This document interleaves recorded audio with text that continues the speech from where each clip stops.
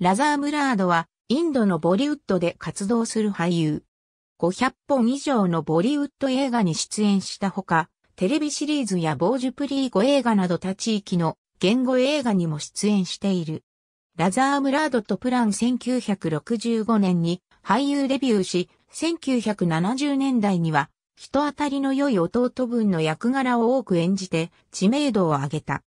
1980年代に入ると父親や叔父などの年長者役、悪役などを演じるようになった。1969年から1971年にかけてインド映画テレビ研究所で演技を学んだ。彼の代表作としてアミターブ、バッチャン、ラジェシカンナーと共演した1973年公開の野巻ホロームがあり、この他にラージカプールのプレムログ、ヘンナ、ラムテリ、ガンガーマイリーヤ、カドダー、ラムロックハナ、トリデブ、ピアルカマンディール、アンキン、モーラ、グープとザヒドゥントゥルースなどが挙げられる。特に、プレムログ出演以降はオファーが増え、キャリアの転機となった。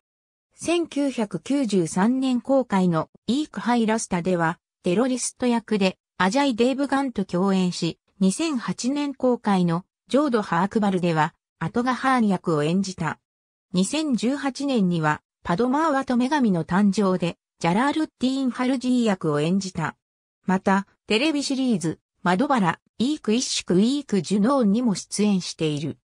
ボリウッド映画の他に、ジャット・パンジャビなどのパンジャーブ語映画や、インドラなどのテルグ語映画でも活躍し、2011年2月に PTC パンジャーブフィルムアワードの特別功労賞を受賞した。またフィルムフェア賞最優秀悪役賞に7回ノミネートされ、1回受賞している。最も影響を受けた俳優として、プランの名前を挙げている。